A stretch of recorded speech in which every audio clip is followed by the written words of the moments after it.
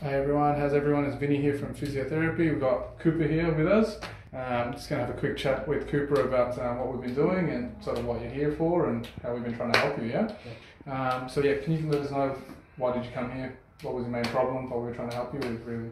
Yeah, so I had uh, an incident at home. Mm-hmm. I bent down, got back up, Mm-hmm. and my knee just locked, just Yeah. completely. Yeah.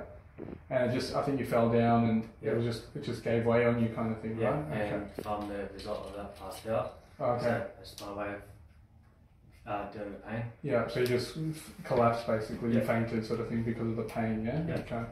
Um, and since then, the pain, like you were just struggling with the pain of the knee, is that Yeah. right? Yeah, just in there. And you did scans, now you did an ultrasound, I right? did ultrasound, X-ray. X- and- And they're all negative, I think, All right? negative. They're all negative. So there's nothing structural in there from what we saw anyway.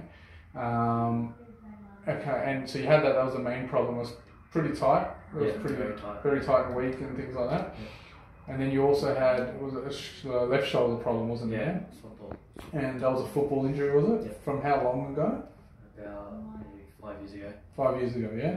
You had a bit of treatment here and there. It was felt okay, but then uh, Cooper does a pretty heavy job. He's um, cabinet maker, right? Carpentry. Carpentry, yeah. So a lot of heavy stuff, and that sort of stiffened you up a fair bit as well, right? Okay.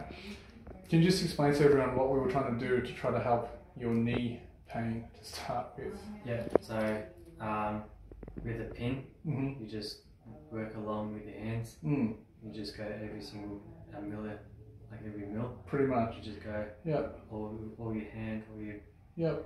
So pretty much we were working on your hands, trying to release some pressure points, I guess, or Yeah. nerve points for your knee injury. Yeah. Yeah. Did you find that a bit odd at the start? yeah, very um, now we did that. We started doing that, and then obviously your shoulder was also an issue. Then I kind of realised that they're all kind of connected. Yeah. So we kept working on all of it. Since we've been doing the treatment over the past few weeks, how have you been feeling in general for your knee and shoulder? uh, very loose, Okay. More comfortable. more comfortable. Yeah. Okay. it's hard with work. Yeah. Um, you're always tight. Yeah. So you do that at home. You just do the hand, and it Yeah. fixes everything. Okay. So generally your shoulder's moving heaps better than what it was as well. Yeah. And your knee as well. On the whole, how's it been going in general? Yeah. Very, very loose, and I could move a lot easier. Okay, a lot more strength, a lot more control again, yeah? Alright, fantastic. So, yeah, so again, came in for knee problems, came in for shoulder problems, worked on nerve points in the hand, and got some, you know, pretty good results. Any tips for anyone that we're trying to help use this weird, different type of method?